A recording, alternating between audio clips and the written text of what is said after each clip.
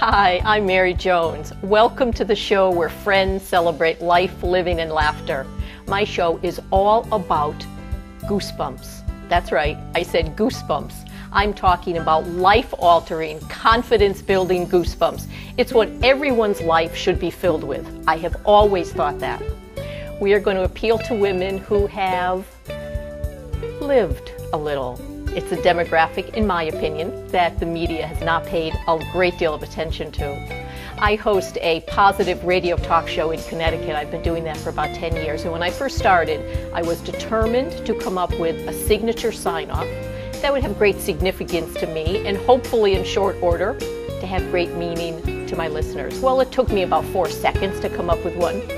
My signature sign off has always been believe in yourself.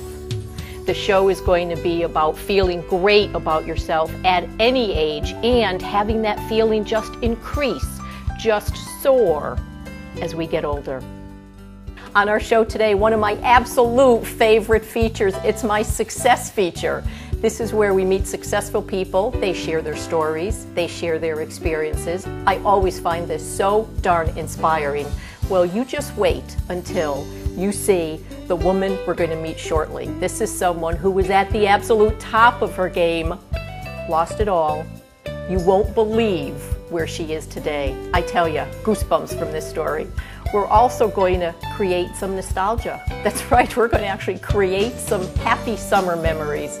This came from an idea I had just a couple weeks ago. I was visiting some friends up in Maine with my husband and noticed in the backyard they had a very simply built, old-fashioned swing, which instantly took me back to when I was a little girl on the swing set that my dad built for me in the backyard. So we are going to actually create some happy summer memories and we're going to do it now because Labor Day is a little too late. So we have great stories on that as well. And of course, I have a challenge for you. I always have challenges for you. My challenge on today's show is to tell someone in your life something you've been wanting to tell them but haven't.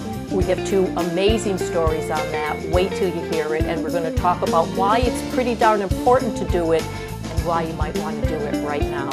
So that's it for today. We are going to be sharing some goosebumps, mark my word. Stay with me, and please remember, as I always say, to believe in yourself.